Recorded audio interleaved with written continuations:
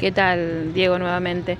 Eh, sí, como te comentaba fuera del aire, nosotros no, dentro de la ordenanza que regula la habilitación para, eh, de remis, no establece en sí una tarifa única para todos los servicios. Eso lo establece como, como un servicio privado cada cada propietario de la, de la remisería. ¿no? Por supuesto está en los usuarios saber a quién llamar y quién no y cuidar cada uno de eh, tal cual. Eh, no es fácil, estamos viviendo momentos muy complicados, es entendible el malestar de los vecinos al momento de, que comunican que sube alguna tarifa, ¿no? Pero bueno, estamos como usuario, porque soy también un usuario de, los servicios de remis, eh, ver qué, qué servicio nos conviene y cuál no por lo pronto y no quita que no trabajemos en una ordenanza que establezca eh, la, tarifa única, pero bueno, por lo pronto no tenemos nada, ni tampoco un proyecto para presentarlo este año. Bien, nadie pidió nada tampoco.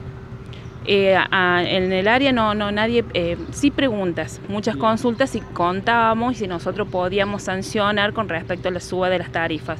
Siempre se les comunica que por lo pronto no tenemos nada en la ordenanza que establezca esto. Hasta el momento es un comercio libre, digamos.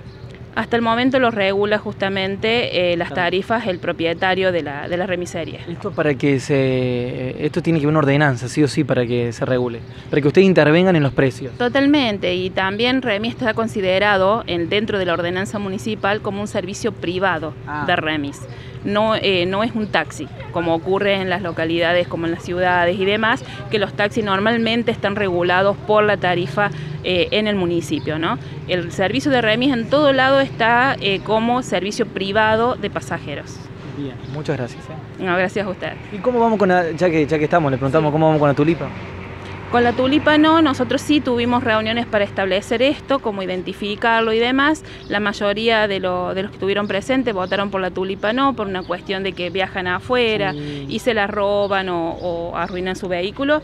Así que llegamos a, establecer que sí, una identificación por medio de una oblea con el número de habilitación y una luz LED que, que contenga la inscripción de remis. Bien, o sea que eso, ¿cuándo, se empieza a implementar? Para que estén en, en poco tiempo, porque ya, ya tenemos el diseño del oble en sí para empezar a, a, otorgársela a cada vehículo que esté habilitado y bueno, tenemos que pedir presupuesto de lo que son las, luces. Seguro, bueno, muchas gracias. ¿eh? No, gracias a Ahí está la información entonces.